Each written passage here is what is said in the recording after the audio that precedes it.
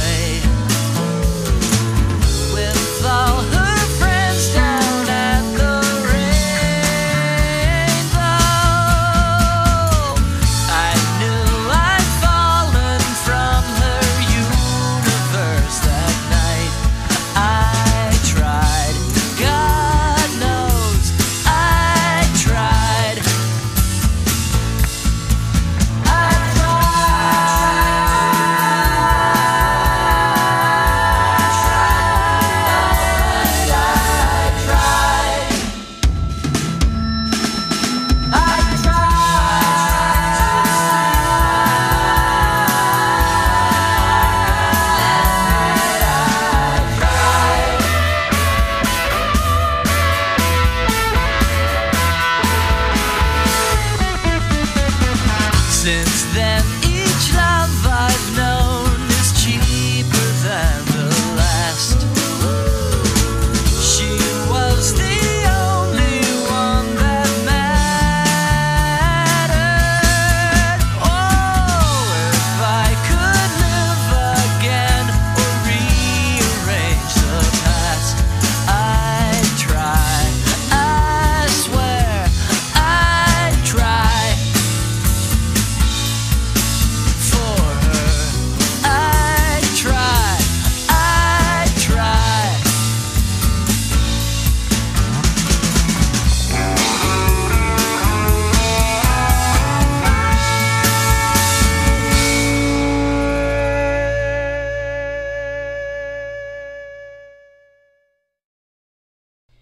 I was going through this song. I was going back and forth. Like, who do they sound like? Who do they kind of remind me of that I've done on this channel before? You know what it came down to? If these guys were not influenced by, or they just kind of, you know, put their style after, this kind of has a Green Day like effect. Like, I'm not. Don't take this in no hateful way.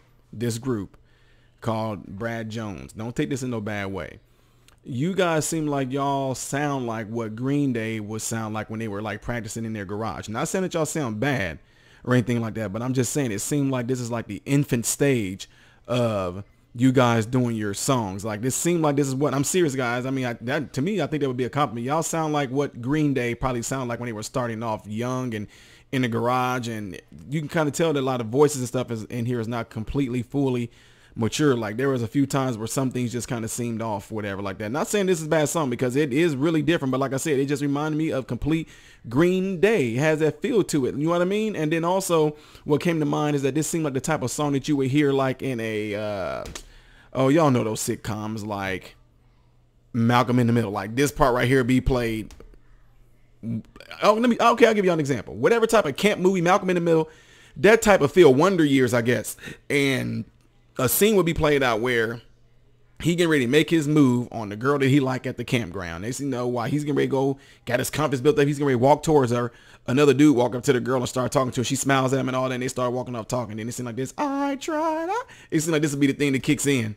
Then he just gets mad in the letter he had in his hand. He just rips it up or something like that. Am I the only one that thinks like that? I know. I know. Anyway, that's my take on that, folks. Let me know what y'all take is on it. I like to hear. Do you guys feel that they had like a Green Day like type feel to it? And if so, you know, let me know what y'all think of this right here. Besides that, I'm getting ready to check out. I am Ty Smith, modern renaissance man. I hope and pray that every last one of you guys have food, shelter, and clothing. And I hope and pray every last one of you guys are in great health. God bless you through Jesus. Hey there, folks. If you're watching this video as a premiere, the next video you're going to do, the reaction is going to be right here, okay? Go to that one if you're going right to the next reaction. Right here is the stuff that I do on my own things that you should definitely check out. It's my comedy, stuff like that, yada, yada, yada, peanut butter. And right here is where you can go and subscribe to my channel, okay? Really appreciate it if you did. But first, you get to know me, okay? Get to know me, all right? Peace.